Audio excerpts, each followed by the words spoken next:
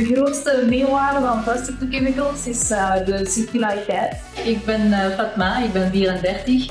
Ik werk als uh, R&D-engineer. Wat wij doen bij Plastic to Chemicals is vooral terug van plastic afval, polystyrene en producten zoals yoghurtpotjes terug zuiver styreen maken. Al de PMD-zak die ik thuis heb, is voor mij niet meer afvalzakjes een waardevol grondstof. Plastic to Chemicals is uh, de grootste plant in Europa tot zijn. Ontdek alle transitieboosters op essentia.be.